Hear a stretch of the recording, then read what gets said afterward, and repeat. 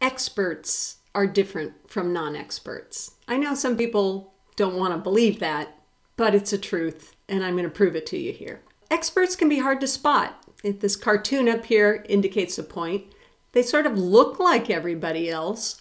So when someone, say an actress named Jenny McCarthy, says, Oh gosh, don't get your children vaccinated against measles, mumps, and rubella because if you do, they'll get autism, people listen. But Jenny McCarthy is an expert in acting. She's not an expert in autism or vaccines. And what she's saying is literally killing people. I know a radiation oncologist who just pulls his hair out because some of the people who come to him will refute the treatment that he's suggesting based on a Google search that they conducted. Why would you do it to an MD if you had cancer? Uh, it's kind of crazy, but let's think some more about that. In the 1990s, there was a very, very, very bad man who wanted to get some attention. He was an autism researcher in England, and he forged his data. He made up an association between the MMR, measles, mumps, and rubella vaccine, and autism. He was found, people found out that he had lied, that he had made up false data, and he had to go to court and he lost his job. Personally, I think he should be in jail, but I'm not a judge. Uh, based on that one study that the author himself said was fraudulent and has been proven repeatedly is fraudulent, there's this continuous belief that vaccinating your children increases the odds of them getting autism. It does not. The MMR vaccine does not, I repeat, does not cause autism. It does not increase your odds of getting autism. They're unrelated. The people who are pushing the idea that vaccinations cause autism are non experts. Okay. Now you could say, "Oh, Maggie, get over yourself, right? Why do you why are you upset about this?" Well, let's take a look at the graph over here on the right. It tells you what parents believe is true or false. Now, 50% of parents correctly do not believe that there is a link between MMR vaccinations and autism. And 30% aren't sure. But 15% of parents, according to a recent survey, believe that there is a link between vaccinating your children and autism. Now, okay, so they believe that. Why is that a problem? Well, if you look at the percentage of parents who get their children vaccinated, the parents who do not believe that there's an association between vaccination and autism, 98% of their children are vaccinated. The parents who either aren't sure or believe that there is an association, only 86% of them get vaccinated. And you think, okay, well, but again, where's the big deal? Well, here it is. Uh, in the US, measles was gone. We had no measles in the US in the year 2000. It was a terrific success. Measles had been eliminated in the US because measles kill people. What do we have in this was 2019 data? Record levels of measles. We went from having no measles to record levels of measles. Why? Because people do not get their children vaccinated. Why? Because non experts are saying that there is a link between vaccination and autism.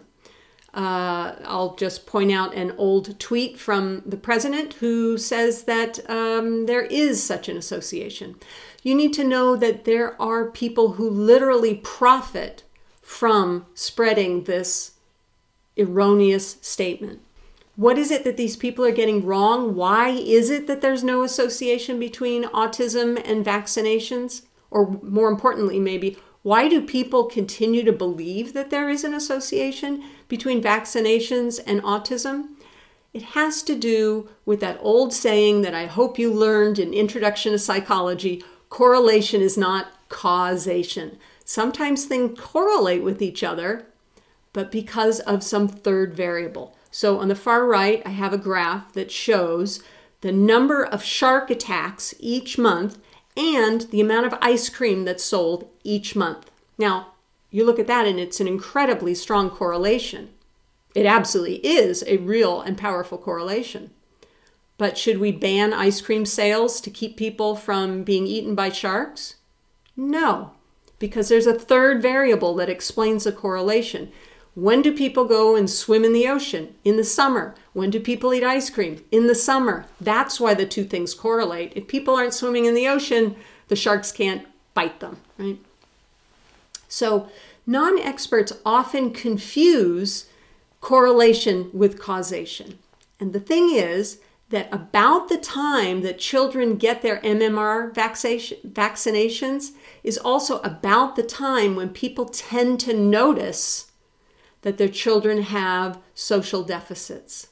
So it's not a function of the MMR causing autism, it's just that people tend to notice early signs of autism at when their children are about the same age as the time when children get vaccinated. It's a correlation, right? It's like the guy here saying, sleeping with my shoes on always gives me a headache. And the response is, um, Maybe you're wearing your shoes in bed because you were drunk. Same thing with the vaccination and autism. Okay. Generally speaking, why is it that people tend to disregard science? And this is increasingly a problem in the US. Uh, climate change is causing terrible devastation and yet we're not doing anything about it. Why? Because climate change is something that's described by experts, and many people in the US don't think that experts are valuable anymore. Uh, right now, during the pandemic, a significant proportion of Americans refuse to believe that wearing a mask and social distancing will protect them and their loved ones from getting COVID. Why? Because they won't listen to the experts, the people who have actual expertise in infectious diseases. Why? Why do people do this?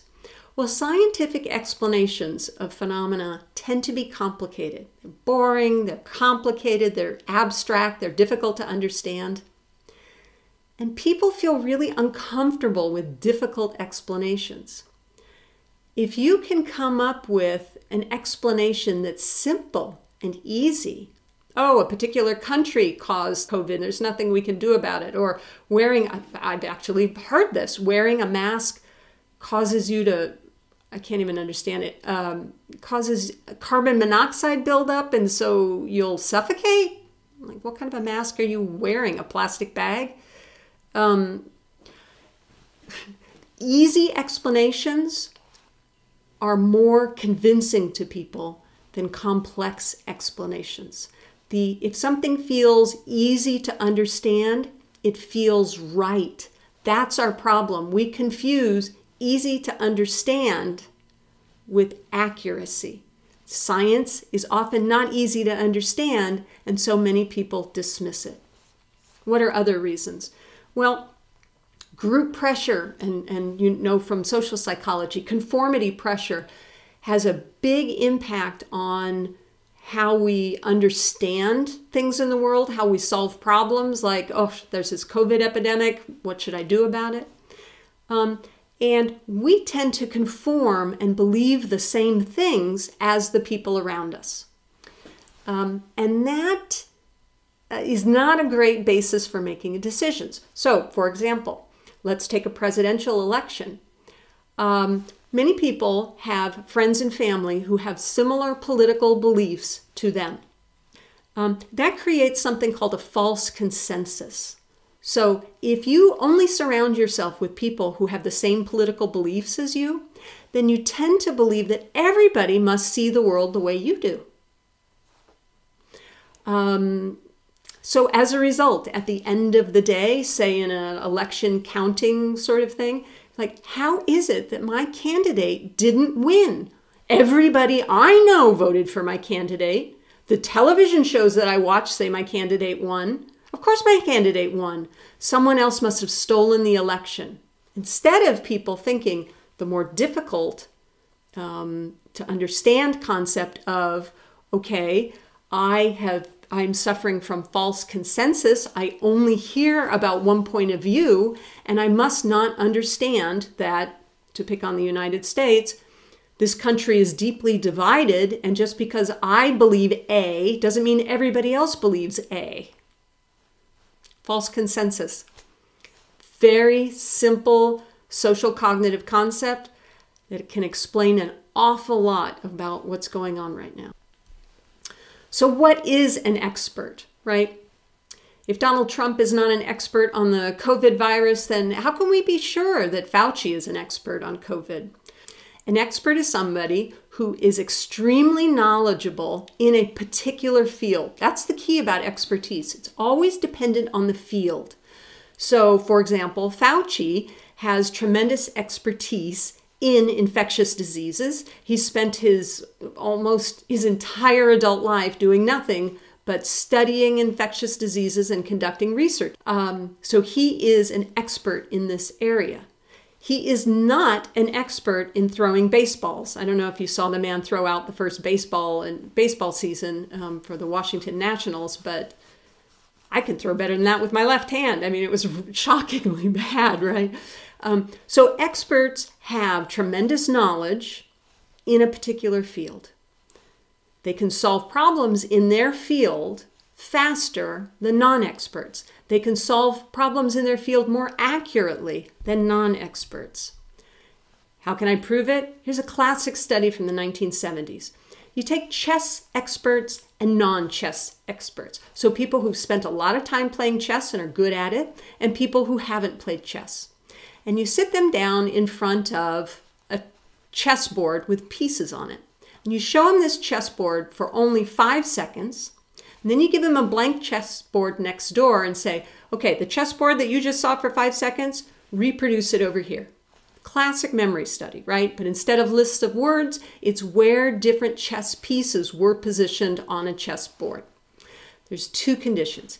Either the chess pieces are distributed across the board in a way that's exactly like a game of chess would unfold. In other words, the chess pieces are in meaningful positions. The other half of the trials, the chess pieces are random on the board. They don't relate to anything meaningful in terms of the game because the positions don't make any sense. What happens? If you ask people to try to remember where chess pieces are on a chessboard, and you're talking about chessboards that demonstrate a game that's in progress, then experts are much, much better than novices at remembering where the chess pieces are. So remember when we talked about chunking? Yeah, that's what experts can do. They have a great deal of knowledge about a field and they can interpret the pieces into meaningful units. Novices can't, they don't have the knowledge.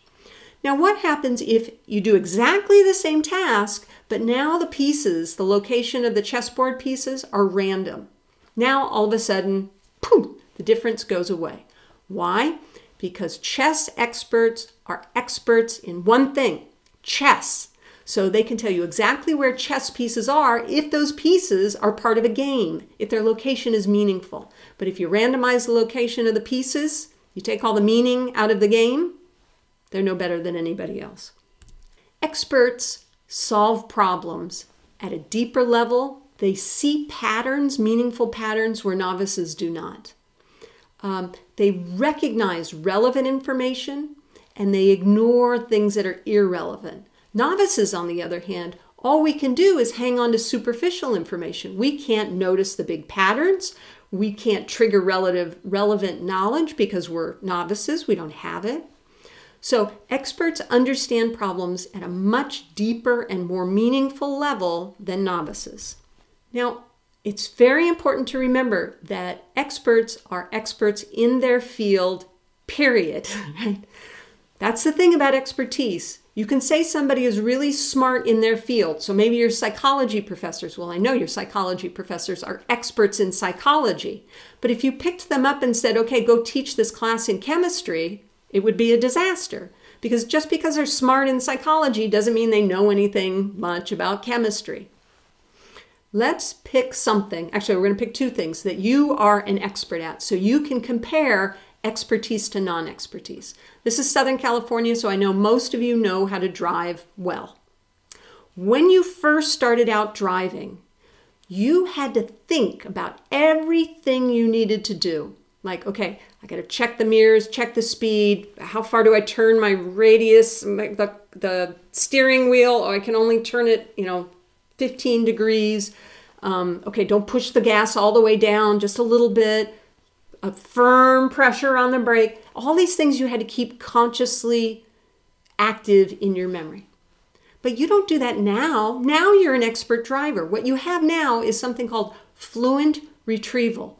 When you need the information that you need for each step of driving, say starting the car and then pulling out of your parking space, it comes to you automatically. You don't have to search for it, you don't have to think about it. It just arrives. The information that you need arrives when you need it. That's fluent retrieval. Novices don't have that. So we put a big sign on cars in California that says novice driver. Why?